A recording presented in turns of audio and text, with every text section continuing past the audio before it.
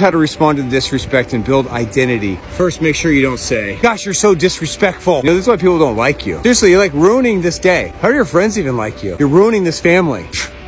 Here you go again. All you do is disrespect all day long, huh? You have to respect me because I'm the parent. That's why. Kids will be kids. What are you gonna do? Okay, honey, whatever you want. Hey, don't say anything. We don't want to make them mad. You know what? The kid just has ADHD. It's just that's the way it is. Said, here's some tools to replace that. See, if you tell a passionate, emotional kid that they're disrespectful and selfish, well, then they're gonna act like a disrespectful, selfish person. That's what they believe in their heart their identity. So instead, can we talk? Just heart to heart? Can I, can I kind of tell you how I feel when you speak to me that way? It, it, uh, it hurts. It like hurts my feelings because I'm your parent and raising a respectful kid who respects me, respects his family, respects himself is like my dream. It's like so important to me. And I know you have feelings. We talk about your feelings a lot, but I have feelings too. Parents have feelings too.